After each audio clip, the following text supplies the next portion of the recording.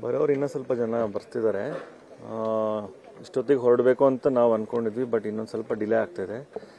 ಹತ್ತು ಗಂಟೆ ಹೊತ್ತಿಗೆ ಇಲ್ಲಿಂದ ಹೊರಡ್ಬೋದು. ಇಲ್ಲಿಂದ ಹೊರಟಿ ನಾವು ಹೇಳ್ದಂಗೆ ನಮ್ಮ ಪ್ರಾರ್ಥನಾ ಶಾಲೆ ಗ್ರೌಂಡಲ್ಲಿ ಅಲ್ಲೊಂದು ಎರಡು ಎರಡು ಗಂಟೆ ಕಾಲ ಅಲ್ಲಿದ್ದು, ಅಲ್ಲಿಂದ ಬನಶಂಕರಿಗೆ ಹೋಗೋದು ಅಂತ ಪ್ಲ್ಯಾನ್ ಮಾಡ್ಕೊಂಡಿದ್ದೀವಿ. ಮೋಸ್ಟ್ಲಿ ಟೆನ್ ಓ ಕ್ಲಾಕ್ ಇಲ್ಲಿಂದ ಹೊರಡ್ಬೋದು ಅಂತ. ಓಕೆ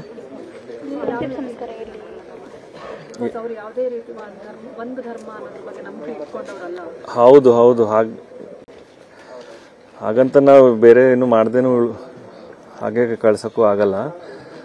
ಯಾವ್ಯಾವ ಥರದ್ದು ಕಾರ್ಯ ಏನೇನು ಮಾಡಬೇಕು ಅದನ್ನು ನೀಟಾಗಿ ಮಾಡಿ ಅವ್ರಿಗೊಂದು ಯಾವ ಸಂಪ್ರದಾಯ ನಮ್ಮ ಹಿಂದೂ ಸಂಪ್ರದಾಯದ ಪ್ರಕಾರನೇ ಮಾಡಿ ಹತ್ತು ಗಂಟೆಗೆ ಹೊರಡ್ತೀವಿ ಮನೆಯಿಂದ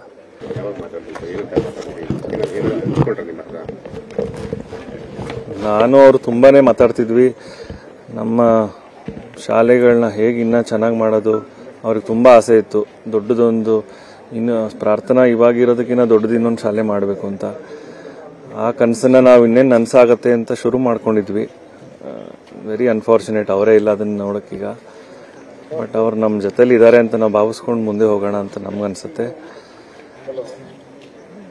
ಇನ್ನು ತೀರಾ ಏನು ಹೇಳಬೇಕು ಗೊತ್ತಾಗಲ್ಲ ಸರ್, ದಯವಿಟ್ಟು it's a shock for all of us ಇದರಿಂದ ಆಚೆ ಬರೋಕ್ಕೆ ಸ್ವಲ್ಪ ತುಂಬಾ ಕಷ್ಟ ಆಗುತ್ತೆ. Thank you